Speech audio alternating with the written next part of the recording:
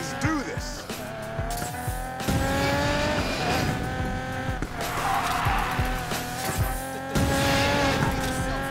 Here we go.